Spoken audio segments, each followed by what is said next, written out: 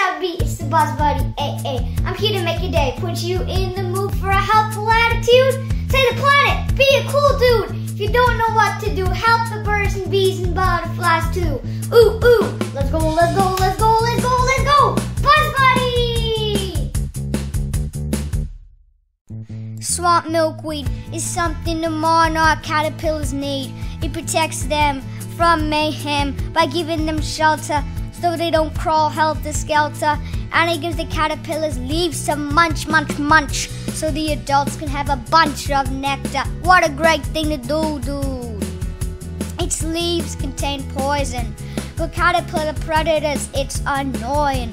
It's a milkweed, which means it feels a special need. The monarchs need to lay their butterfly eggs, so we have milkweed to do the deed. Swamp milkweed, it's something the monarch caterpillars need. It protects them from mayhem by giving them shelter, so they don't crawl helter skelter. And it gives the caterpillars leaves to munch, munch, munch, so the adults can have a bunch of nectar.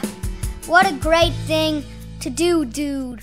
This plant blooms in the summer and fall. My oh my, does it grow tall? Mine is already taller than me. Ooh ooh ooh ooh, he he he. Its bloom colors are white, purple, and pink. I gotta say, all this should make me think. Why do we spray? Hey hey hey, that's just being rude to your garden. You should be begging for a pretty big pardon. Instead of spraying chemicals, we should start to help all creatures and protect Earth's amazing features. Chemicals get washed into our streams. Why it just makes me want to scream. It pollutes the air and makes our family and pets sick. And we don't even raise a hair. Oh, the despair.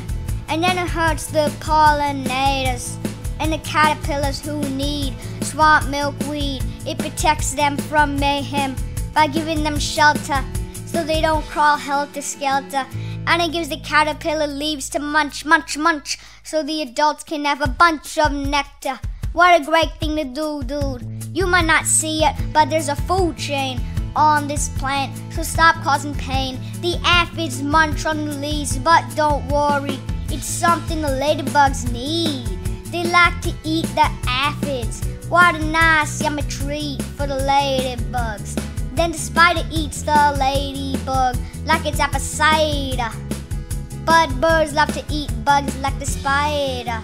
Man, the bird's a real fighter. Cause to the spider, it's a real biter. And all this because of swamp milkweed. It's something the monarch caterpillars need. It protects them from mayhem by giving them shelter so they don't crawl helter skelter. Plant is perennial that lacks clay soil, so the environment would never spoil.